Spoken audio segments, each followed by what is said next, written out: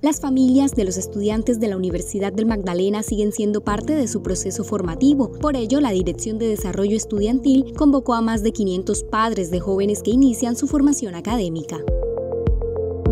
La crianza es un proceso que se aprende en el que hacer, que no hay un manual para ser papás y que cuando se tienen adolescentes en la universidad, los papás, al igual que los adolescentes, vienen con un sinnúmero de interrogantes. Por eso, el darles la bienvenida y reconocer en dónde van a estar sus hijos da un parte de tranquilidad. Identificamos que el apoyo, la red de apoyo desde casa repercute mucho en el estado emocional del estudiante. Entonces, por eso nos damos a la tarea de llamar a los padres, convocarlos para que puedan empaparse de los retos, los desafíos, los cambios que afrontan sus hijos. Muy conectados, muy participativos, muy emotivos también porque esta nueva etapa en la que ingresan sus hijos despiertan en ellos una cantidad y una diversidad de emociones. Después de dos años volvió este encuentro de Padres Unimagdalena, que tuvo jornadas y diversos talleres para que los familiares conozcan la universidad en la que confiaron la educación de sus hijos, así como acercarse a sus procesos, cuerpo de docentes y directivos, instalaciones y servicios. Es un hito, una reunión en, eh, en la universidad universidad donde se tienen en cuenta los padres de familia. Claro, me llamó muchísimo la atención, me hizo sentir mucho más tranquilo. De verdad no pensamos que se fuese a realizar algo así tan bonito. Nos ayudan a reflexionar sobre cómo es el trabajo que se debe hacer con nuestros hijos a partir de esta etapa de la vida de ellos. Primero que es pública, el reconocimiento que tiene pues su nivel académico también. Es una universidad que ha ido creciendo y mis sobrinos todos han estudiado aquí. Son muy buenos profesores